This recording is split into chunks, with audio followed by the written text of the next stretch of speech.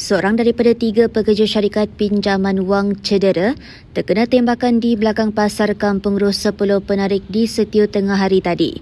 Dalam kejadian 12.55 minit tengah hari itu, kereta peredar beza dinaiki mangsa dikejar dua kenderaan lain yang kemudiannya melepaskan tembakan. Ketua Polis Terengganu Datuk Mazli Mazlan berkata, kejadian mengakibatkan seorang daripada tiga mangsa terkena tembakan peluru tabur yang digunakan suspek.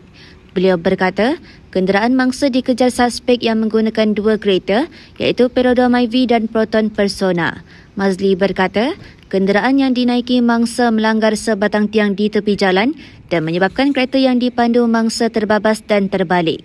Katanya dua mangsa melarikan diri ke kedai serba di sebuah stesen minyak manakala seorang ke dalam hutan berhampiran.